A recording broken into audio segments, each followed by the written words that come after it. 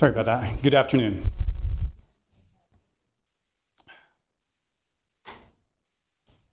Death penalty.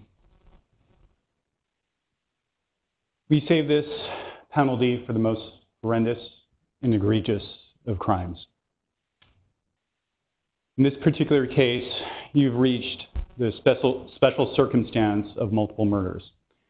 And to be eligible for this for the death penalty under multiple murder, you must decide that the defendant committed one first degree and one murder of at least the second degree.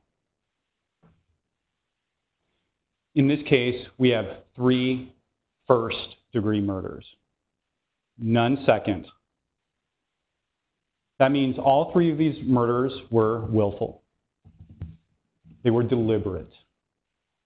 They were premeditated. Above and beyond the requirements of the special circumstance. You also have to consider the circumstances of the crime as it relates to the victims. What role, if any, did they play in their deaths? Were these victims drug dealers? Were they gang members? Was it some issue from, uh, regarding a rival gang? Was there a history of physical or sexual abuse that created some sort of provocation on the part of the defendant? Or were they vulnerable? Was a weapon involved? Was this, were these murders particularly graphic? And you know the answers to these questions. So let's talk about Ricky Anderson and his vulnerability. He had his back turned, he had a beer in his hand, not knowing that Brandon Mar- Martin was behind him with a baseball bat. And as Brandon gripped that baseball bat and swung it, without warning, struck Barry in the back of the head. I'm sorry, uh, struck Rick at the back of the head, causing him to fall down then striking him in the throat, fracturing his hyoid. And then blow after blow after blow while Rick is on the ground. Didn't know what was coming. Had no way to defend himself. And Brandon turned him into this.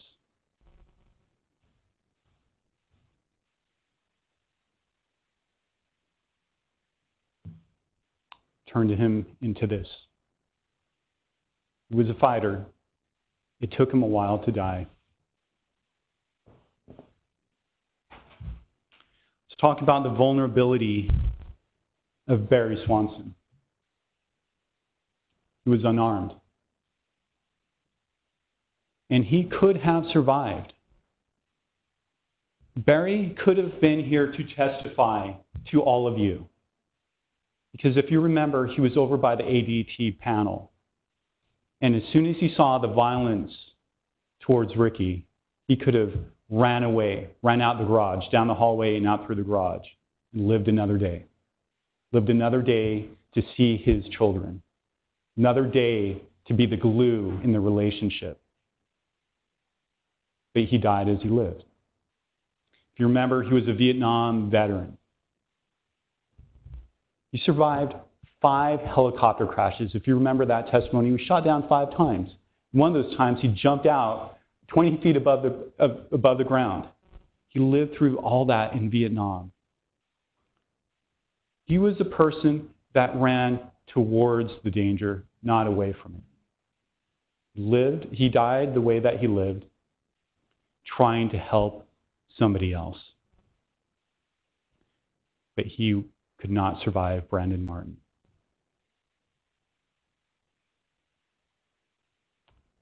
Brandon Martin turned him into this. On the wall there,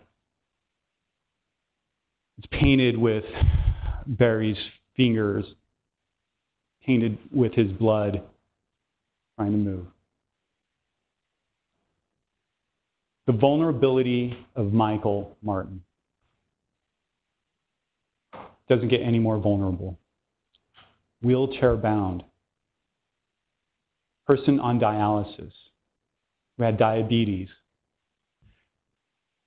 He was lifting one pound weights, something a child could easily lift.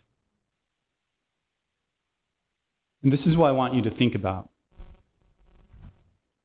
As Rick is being bludgeoned, as Barry is being struck over and over again. Michael's sitting in his chair, listening to the skulls crushing, the baseball bat coming down time and time again, while he's sitting defenseless, not able to lift a hand to help. His brother in law, Ricky, getting killed in front of him a man trying to keep Brandon out of the house getting killed in front of him. The sounds of that violence. Think about that.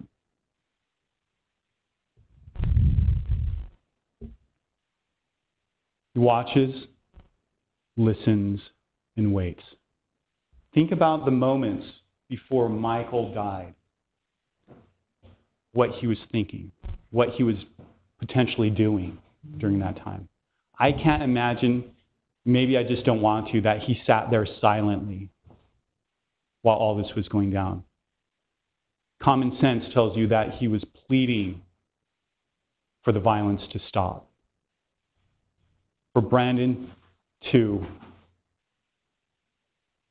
to stop what he was doing and just to, to give mercy.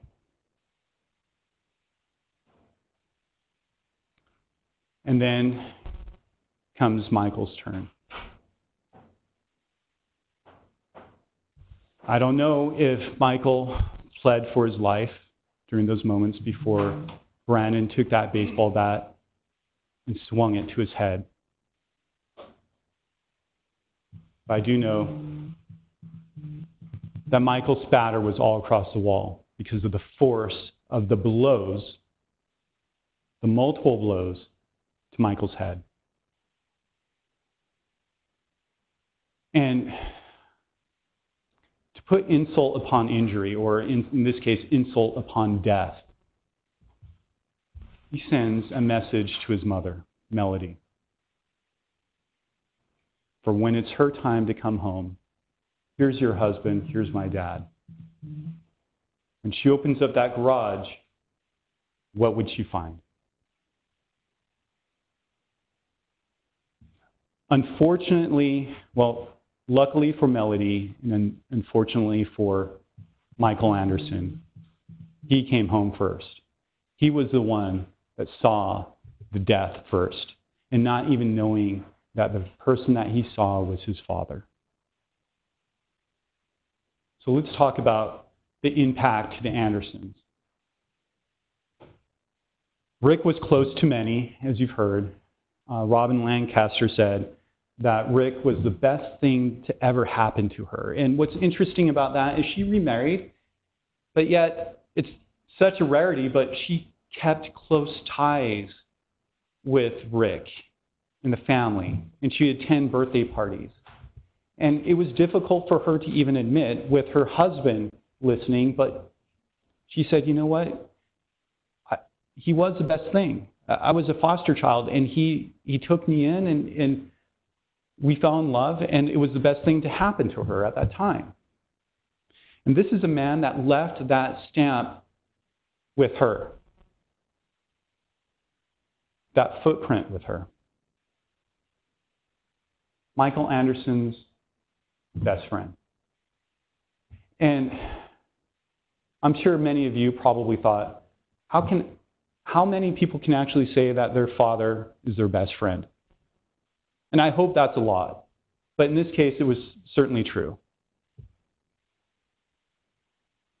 And how many people talk to their father every week or every month. Michael talked to his dad every day, just about. And not just that, but multiple times a day. So think about all the missed conversations that he's had over the last five years. And Craig, he misses his brother. They had a big family, and, and one of them dies in this way.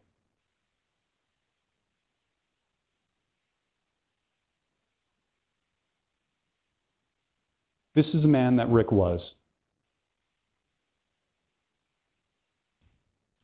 Now let's talk about the impact of the Swansons.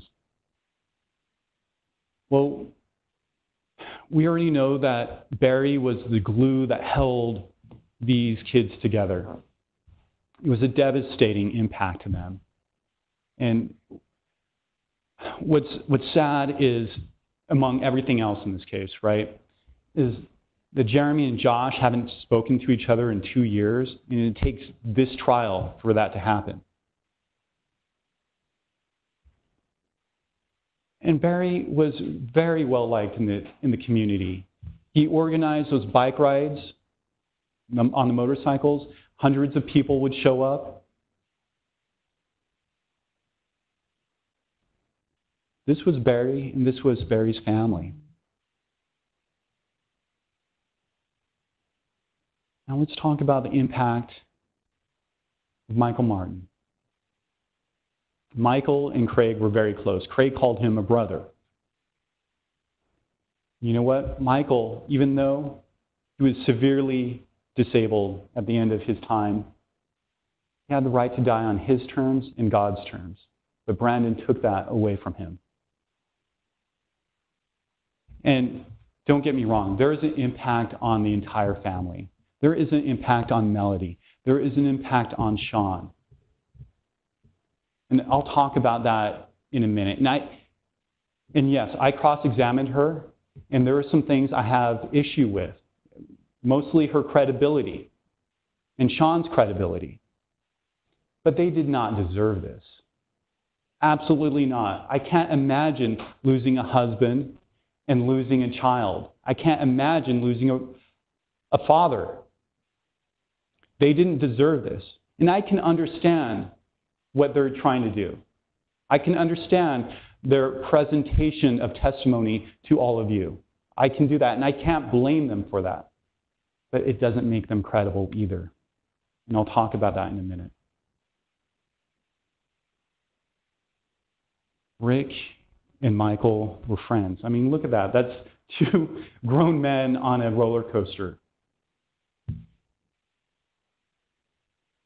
The impact of Michael Martin, this is the man that he was. Now let's talk about the impact of Brandon Martin. Well, we know that he cut off his friends. He unfriended everybody on social media. Not one friend or family member has visited or talked to him in over five years. Now, we've had multiple people up here saying it, the impact that Brandon's had on my life was, was great. And the impact of losing him would also be great. But it would, it would have been really nice to know if somebody has actually talked to him in the last five years, if somebody has actually visited him in the last five years, or even tried to, for that matter.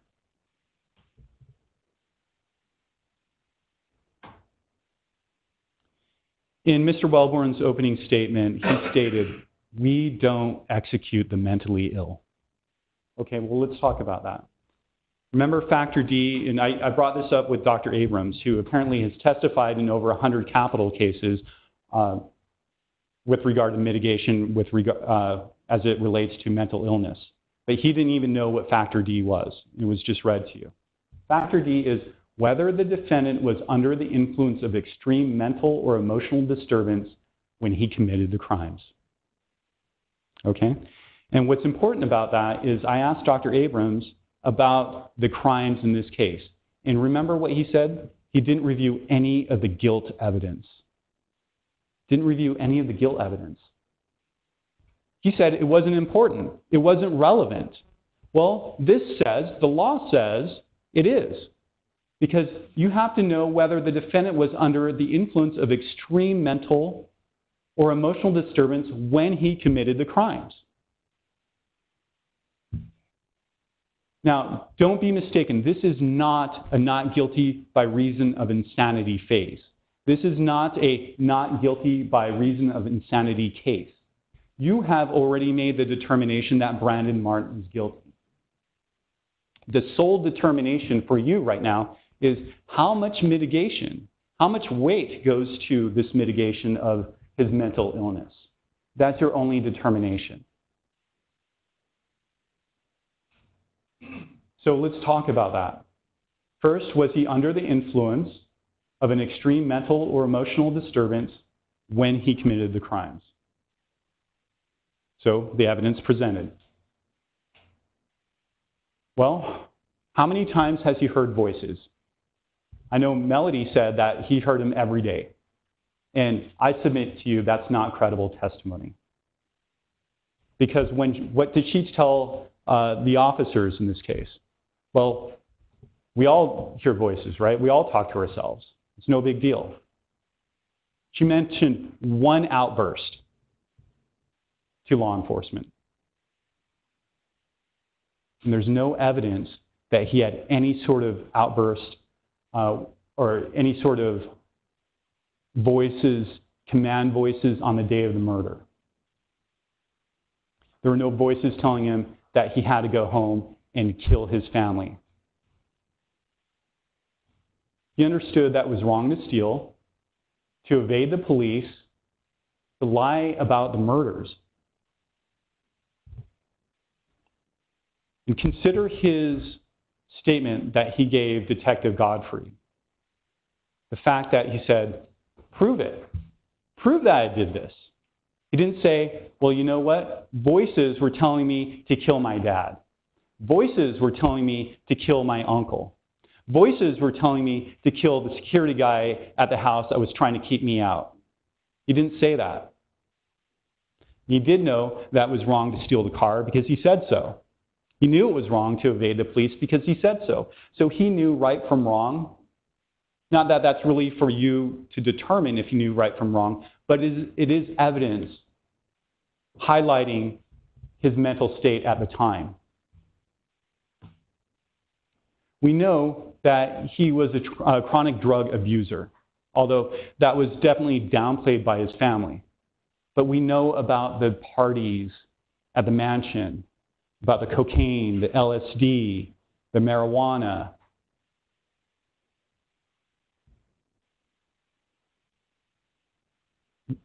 Dr. Solomon was the last person, last psychologist to see him before the murders. There's no information to him about these hallucinations or delusions or talking to himself or command voices telling him to hurt somebody. That would have been absolutely important information. And Melody spent time with him, talking to him about Brandon. But none of this information came up. And why is that? Because it wasn't that as big of a deal as they're trying to make it out now five years later. And I get that. I get why they're doing that. I can understand that. And I don't blame them for it, but it doesn't make them credible. He was acting normally at ETS. He was, there's no evidence that he was talking to himself on the bus ride. There is a video, if you remember that, of him on the bus ride. He's not talking to himself. He's not making outbursts. He's not bothering other people. He's not doing anything weird. During the interview, he's not telling Detective Godfrey, I can't hear you because there's other voices talking to me. There's no evidence. He, he is being responsive to her. And he's committing goal oriented behavior. He wants he needs to go home so he knows where to get the bus. He knows how to get on the bus. He knows where to go, which bus stop to get off. He knows how to walk home, where to walk. He knows where his house is. And after the killings, he knows that he has to leave because he did something bad.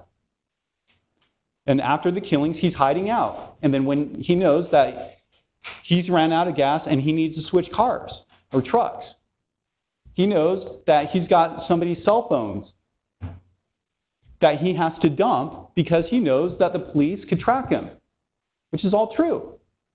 He knows that when the police lights are, uh, are on behind him, that he needs to pull over, which he does. He knows that when he's commanded to put his hands out the window, he does that. But then he knows that he's going to be he's going to jail, according what his own statement, for the, potentially the rest of his life. He doesn't want to go to jail. He doesn't like the police, so he leaves. It's all goal-oriented behavior. He knows how to use a weapon. He knows to take a wallet from a dead person and try to use their credit card to get gas. There's no evidence of any delusions or hallucinations after the arrest.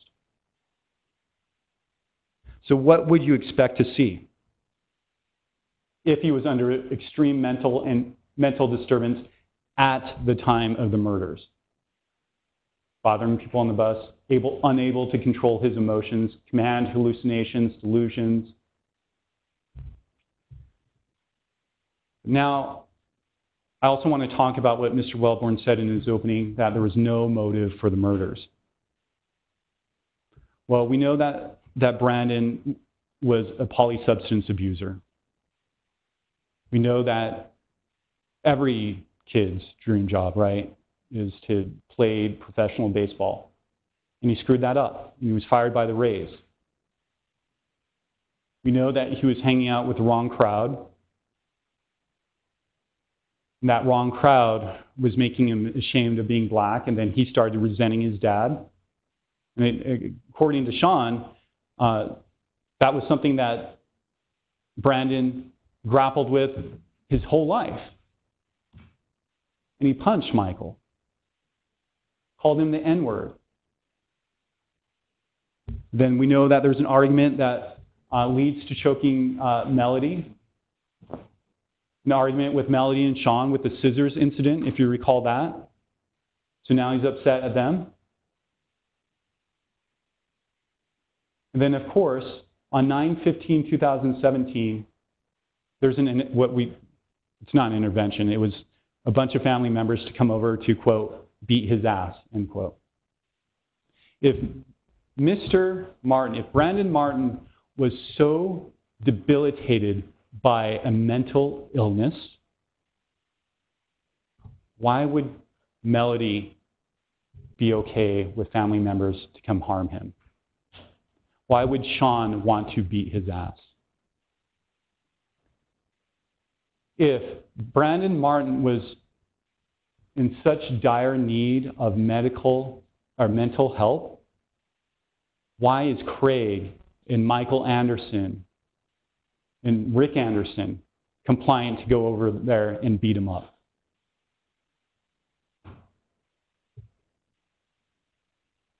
Because they knew what he really needed, which was substance abuse treatment.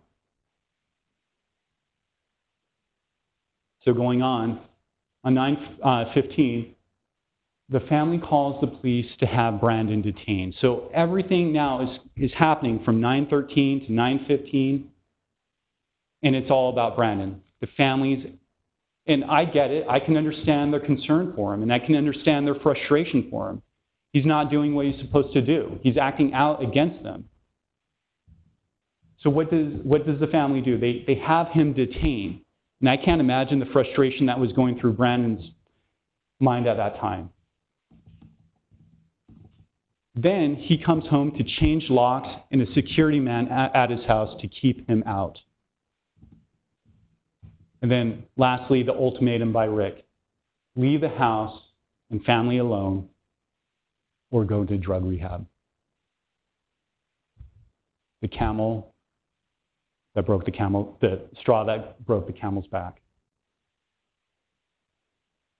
But you have to remember, these are the choices that Brandon made. He chose to sign an $860,000 contract, to rent a mansion, to do drugs, to party incessantly, to refuse to listen to family. Emily recognized his bad choices. Matt Budgell did too. But he chose to cut them off. He acted out against his family. He chose his path.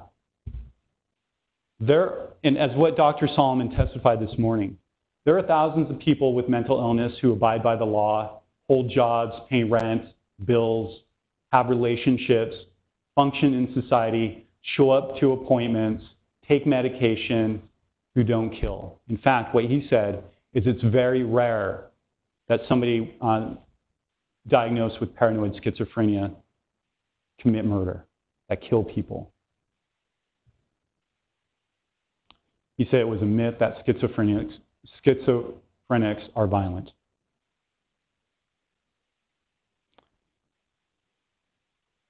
And Dr. Solomon was a doctor, a psychologist that actually saw Brandon Martin, actually looked at him, evaluated him, and try to treat him, Talk to Melody. He was the last psychologist to see him before these murders. What's interesting about Dr. Abrams, who uh, apparently testified unethically because he made a diagnosis of Brandon without ever seeing him, without ever actually meeting him to treat him. And Dr. Abrams said, well, you know, there are dozens of uh, cl uh, clinicians that have diagnosed him with uh, schizophrenia. Okay, well, he was paid upwards of $20,000 if you did the math. $20,000 to come testify when somebody that actually saw him could have come in and testified potentially for free. I, I don't know why it was Dr. Abrams, and again, according to Dr. Solomon, comes in and testifies unethically because he never treated, never saw Brandon Martin. If there were all these other people that diagnosed him with paranoid schizophrenia, wouldn't you want to know? Wouldn't you want to have them testify? But Brandon Martin chose to kill. Now, was the defendant perfectly fine? Don't mistake me on this. He had substance abuse issues, again, his choices. He had a mood disorder that, that was brought up. And yes, he was diagnosed with paranoid schizophrenia. I'm not hiding that fact. But again, was this so debilitating as the family would like you to believe that he couldn't function in society? But all the evidence at that time, all their statements near that time all say you know what? Yeah, he had a couple of outbursts. Yeah, he talked to himself a couple of times, but he was able to function just fine. He was able to live in a hotel just fine when we kicked him out.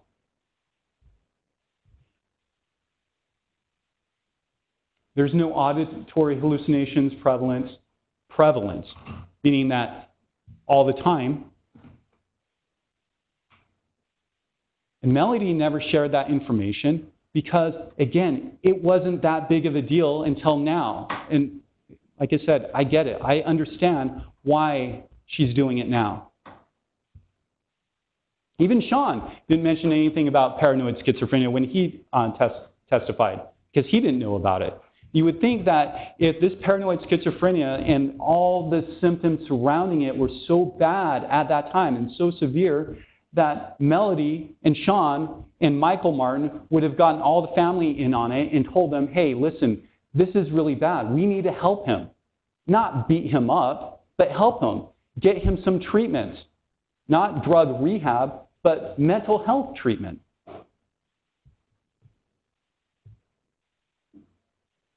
Not give him an ultimatum of, we're going to kick you out onto the street unless if you enter drug rehab.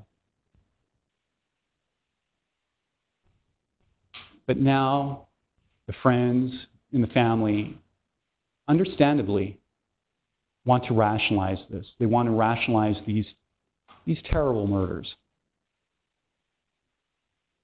by saying, well, you know what? He was really bad back then. He was talking to himself every day. His eyes weren't the same. I, I felt a presence of evil when I walked into his room. Does that, does that sound contrived to you? Do their testimonies, did that feel contrived to you when they testified? And Mr. Welborn's going to come up here and he's going to ask you essentially to give mercy to someone with a mental illness, which is pretty powerful, which is something very powerful to say. But I want you to remember this that mercy does not fall from the sky and rain upon the undeserving. It requires remorse and accountability. It requires the defendant's ownership and accountability to their actions. Not to steal the property of the people that they, they killed, not to evade the police, not to fight with the police, not to blame these terrible crimes on someone else. Not a shred of remorse. And I urge you to listen to his statement again and ask yourself is, is this somebody worthy of mercy? Is this somebody that has any remorse for the loss of his father and his uncle and somebody else in his room, in his house? The callous attitude he's had towards his victims. The callousness towards these deaths, frankly, is it's unforgivable give the full extent of justice, and have the moral strength to return a verdict of death. Thank you. Thank you.